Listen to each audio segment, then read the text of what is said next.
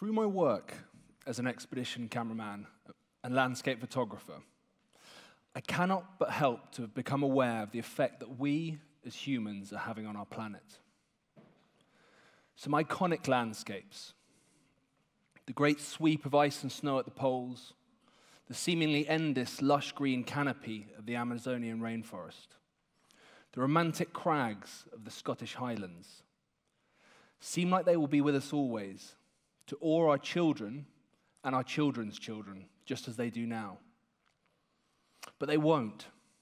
They're changing. Very slowly, it seems to us, but very quickly in geological terms. Some have not always looked like this either, but are very much a product of the hand of man. On my expeditions, I've never set out to document these changes specifically, but it's almost through framing them out, as it were, that I've become aware of the changes being wrought around us. I want to take you through, if I may, a lens eye view of what I have observed, share with you what I've seen, and how I feel that affects our planet's environmental resilience. I want to start with a landscape that's relatively close to home Bodmin Moor in Cornwall. Many people look at the moor with its thin veneer of soil over craggy granite outcrops as one of Britain's most wild and natural spaces. But it's not. It's very much the product of human intervention. If we could travel back six or 7,000 years ago, before the advent of farming, when our ancestors lived a semi nomadic lifestyle, hunting and collecting seasonal food, we'd see that much of the moor, in the same way as Britain was back then, was once heavily wooded. Then, sometime after around 3500 BC, as our ancestors turned from the hunter gatherer lifestyle to more permanent settlements that required land for farming. They began to clear trees from upland areas such as the moor. Tests have shown that the polished flint axe of a Neolithic man could fell a fir tree 17 centimeters in diameter in just five minutes. So it gives you some idea of how quickly it could have happened. People began herding animals, planting cereal crops, and bit by bit, areas such as the moor were cleared of their woodland. Once the woodland had been cleared, the gra- grazing by livestock made short work of any saplings, making it impossible for trees to regenerate. Bodmin Moor, with its many monuments, stone circles, and cairns, and the remains of cultivation strips, is very much a product of human intervention. Another landscape that tells a similar story are the Highlands of Scotland. The ever changing light, a constant inspiration for photographers. Again, considered by many to be a natural landscape, but they were once heavily wooded too. Scottish Nat- National Heritage recently commissioned a report that concluded that climatic changes were not always the primary reason for a change in land use in the Highlands, but that socio and economic factors were often much more important in the creation of the landscape that we see today. In Scotland, a mixture of a Caledonian forest, which is a mixture of Scots pine, birch, oak, rowan, and juniper, once covered great swathes of the highlands.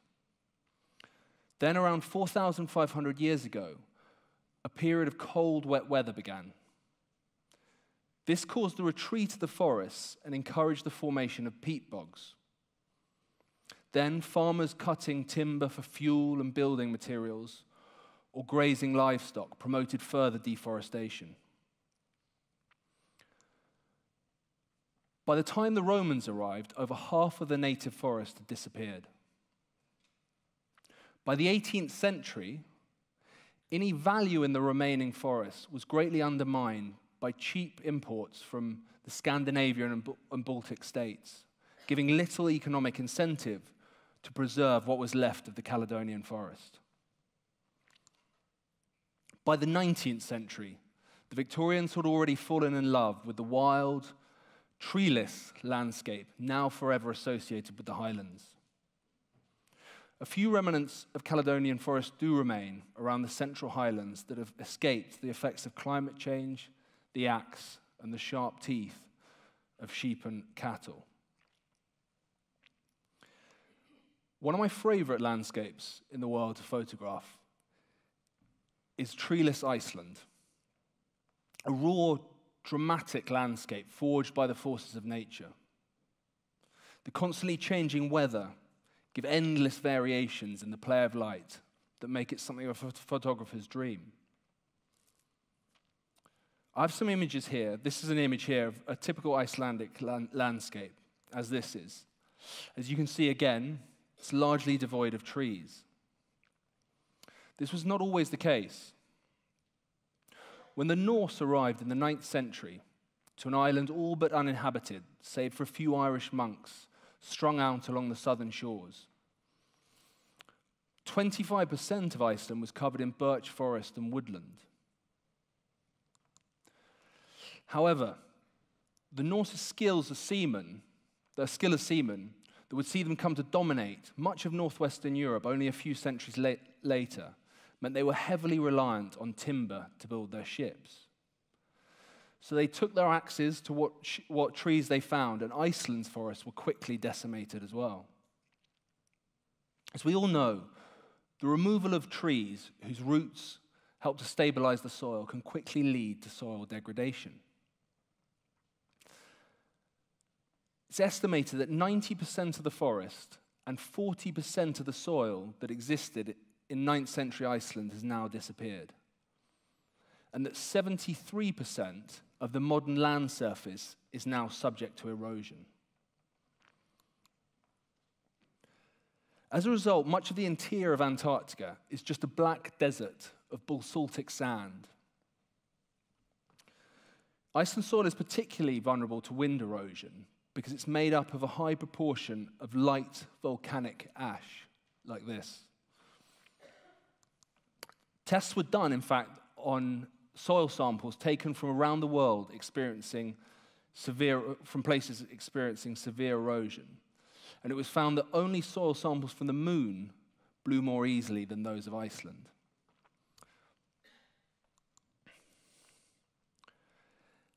As, Iceland, as Iceland's soil further and further degraded, countless volcanic eruptions spewed volcanic ash that fell on bare ground.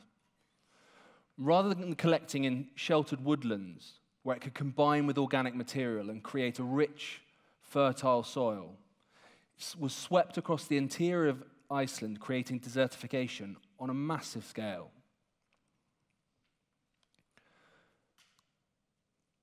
In 2014, I went on my first Antarctic expedition. Again, the, the climatic conditions in Antarctica can make for some brilliant photographic opportunities. This is a 22 degree halo, or sundog, which is formed by ice crystals being blown up by the Antarctic winds and hanging in the air, creating this halo effect around the sun.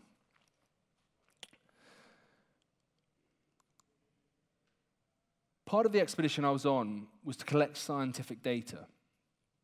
So as we crossed the interior of Antarctica, we stopped at set intervals to take ice core samples that could be later analyzed to give a better understanding of how climate change is affecting the interior of Antarctica.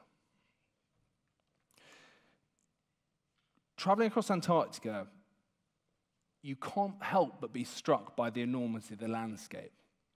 Ice stretches as far as you can see in every direction, beyond the horizon. And even driving, you travel for day after day, and the landscape changes very little. It seems impossible that we could be having a, an effect on this huge giant sheet of ice. Yet, scientists are seeing a reduction in ice even in the interior of Antarctica now. One of the fundamental goals of the expedition was to raise awareness of some of the issues being faced by Antarctica, particularly the prospect of mining. The 25 year anniversary of the Antarctic Treaty was approaching that bans military activity and mining in Antarctica. And there were fears that some of the signatory nations might be keener to exploit the resources that so many people believe are under Antarctica's ice sheet than they were to protect the fragile landscape. Fortunately, in 2016, all of the 29 nations reaffirmed the commitment to this ban on mining. I want to take you now to Chile. I was recently enough, lucky enough to visit Patagonia, another landscape threatened with environmental change. While there, I was invited to stay with the family of Don Aquilino, who farms a remote region of Patagonia, still living the life of a traditional gaucho. There he is. Don, Don Aquilino is an incredible man. He, along with his late father, he led the fight against the HidroAysén hydroelectric project in Chilean Patagonia. Planners of this project believed that it could pro- produce a significant proportion of Chile's energy needs through the damming of the Pascua and Baker rivers in five locations to create giant hydroelectric plants. It would have been Chile's largest energy project. And all this energy would have been created as renewable and fossil free. However, it would have flooded 15,000 acres of Patagonian wilderness. Power lines would have needed to be built to, to take the power to Santiago, roads built to service the whole project. And overall, the total effect would have been the deforestation of 23,000 hectares of Patagonia, affecting many of its national parks and reserves. Fierce debate raged for four years, with protests in the street decrying the loss of habitat. And finally, in 2014, the project was shelved. Don Aquilino took me up to see the Nef Glacier, an incredibly beautiful area, a unique wilderness, and just some of the pristine habitat that would have been lost to this project. For many, and I think I'm inclined to agree, the loss of such a unique landscape was too big a cost to bear. However, Chile's energy, energy needs continue to grow and now its reliance on non renewable sources of energy is that much bigger than if the project had gone ahead. There are also signs of hope that I've witnessed on my travels in many of these places. In Scotland, they're looking at rewilding, which is the reintroduction of native species that have been lost that could be the solution to bringing back some of the native woodland and habitat that has been lost to intensive grazing.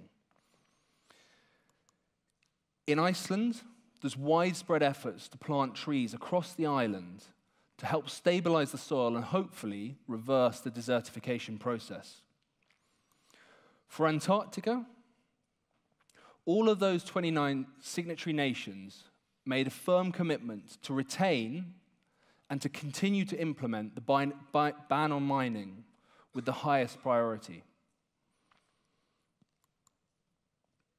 In Chile, the current president, Sebastian Piñera, unveiled ambitious plans in the run up to the 20, 2017 elections to use wind and solar power to make Chile's energy grid 100% renewable by 2040.